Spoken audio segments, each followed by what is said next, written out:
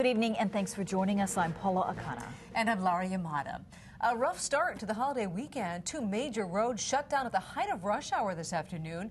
One over a suspicious package on Ward and South King. The second at Kapiolani and Isenberg as a fire broke out at an apartment complex. We begin with the high-rise fire at the Marco Polo Apartments in McCully tonight. KITV4's Keoki Kerr live with that story. Keoki. And Laura, the fire gutted the apartment that's home to a family of five people but it could have been a lot worse. The fire broke out just before 5:30 tonight in apartment 2311 at the Marco Polo on the corner of Kapiolani Boulevard and Isenberg Street. The fire department says the fire appears to have started from unattended cooking in the kitchen, which is a small kitchen open to the living room.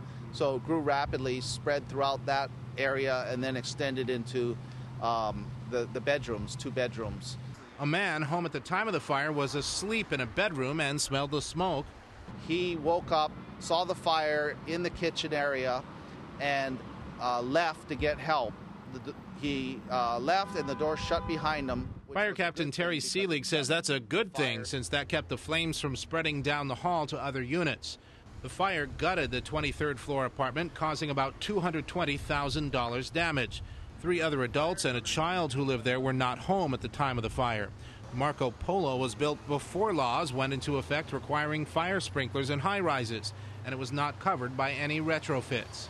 If there were fire sprinklers, this would not have had this much damage. The fire would have been uh, confined by the time we got there. Probably would have been, you know, moderate damage, but not like what we're seeing.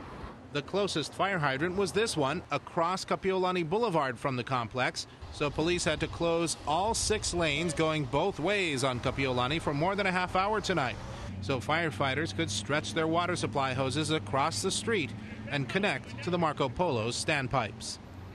Firefighters were able to bring the flames under control in 14 minutes and extinguish the fire within 17 minutes. No one was hurt. The family can't live in the apartment for now, so tonight they are staying with relatives. Back to you, Laura. All right. Thanks, Keoki.